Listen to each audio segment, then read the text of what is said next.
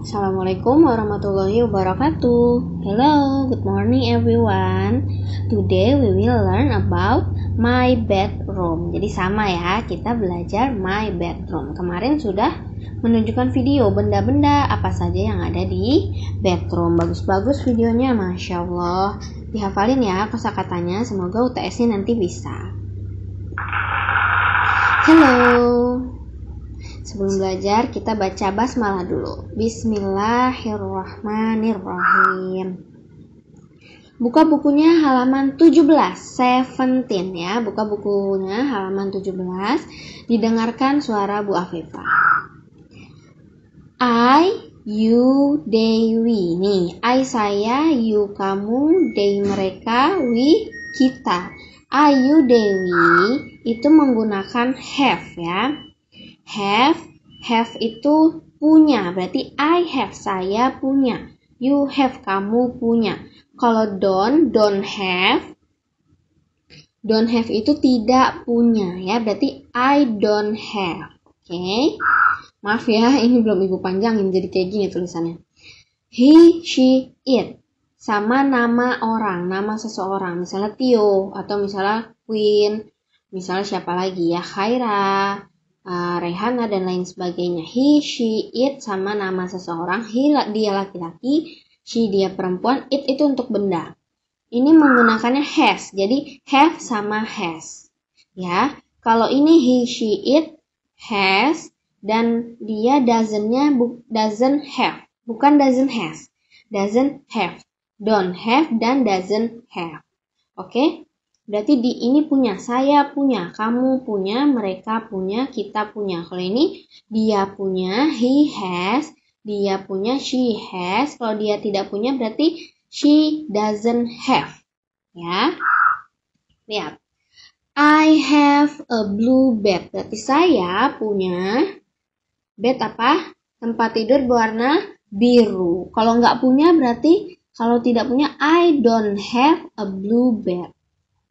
You have a pink bolster. Berarti kamu memiliki atau mempunyai guling warna merah muda. Kalau tidak punya, you don't have a pink bolster. Oke, okay? lanjut. Sekarang yang he, she ya. He has nih, kalau Alan and Alena berarti dua orang ya. Kalau dua orang kan bisa they, bisa we. Alan and Alena have, tetap pakai have ya have a radio, berarti memiliki radio. Kalau tidak memiliki, Alan and Alena don't have a radio. Berarti tidak memiliki atau tidak mempunyai. Lihat yang he, she, it. Perhatikan baik-baik ya. He has a green book shelf. Berarti he nih pasangannya has. Dia memiliki apa? lemari buku warna hijau. Kalau tidak memiliki he doesn't have. Bukan he doesn't has ya. Tapi tetap he doesn't have. Ini don't have. Jadi tetap pakai have, ini tetap pakai have kalau tidak memiliki. He doesn't have a green bookshelf. Sama ya, she-nya juga sama. Nah, contoh. Masih buka bukunya halaman 17. Ini ada soal, Bu Afifah akan contohkan. He bla bla bla, he titik titik titik comic books. Berarti kalau he tadi temannya apa? Yo, pasangannya.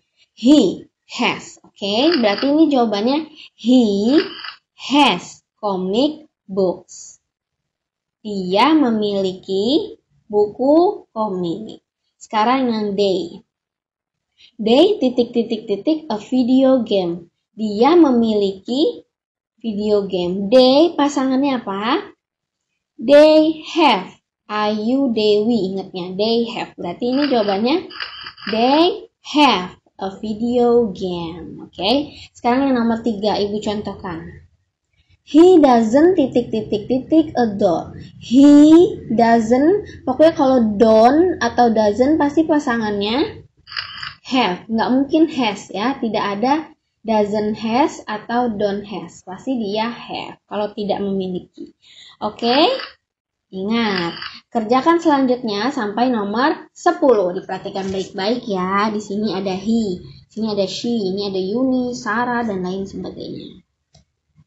Buka bukunya halaman 18. Open your book in page 18.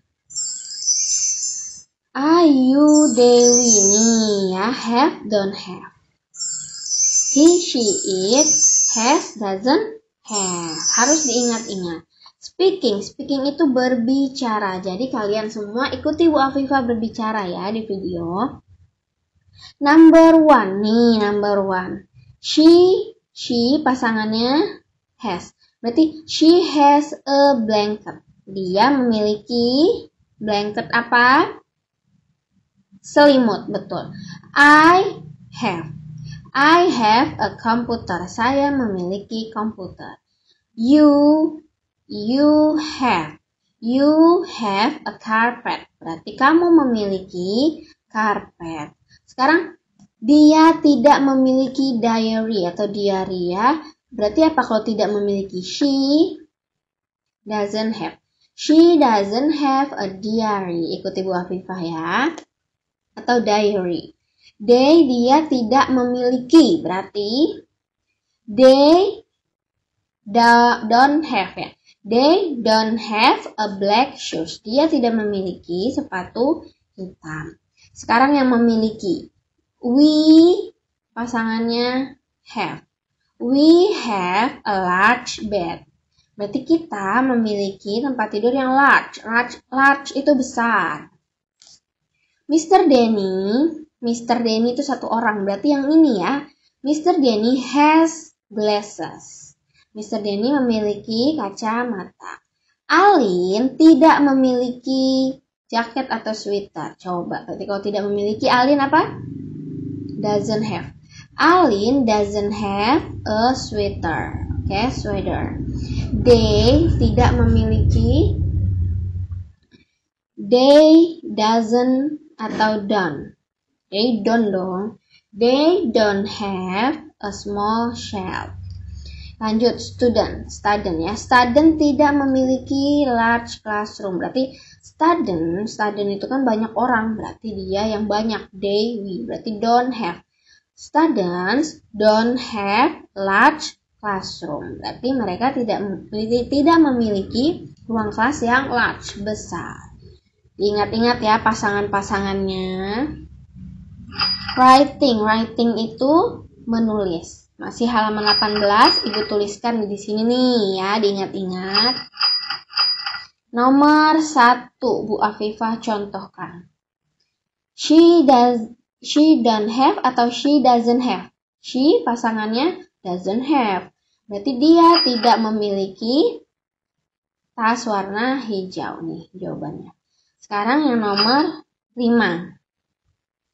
Lisa don't have a sweater. Kalau Lisa berarti satu orang, berarti pakainya yang ini kan? Lisa tidak memiliki don't have atau doesn't have. Doesn't have. Berarti Lisa doesn't have a sweater. Berarti jawabannya yang bawah di checklist. Cek. Iya. Kerjakan ya ini dari nomor 2, 3, 4. Berarti tadi tugasnya halaman berapa? 17 dan 18. Oke, okay? insya Allah kalian bisa ya.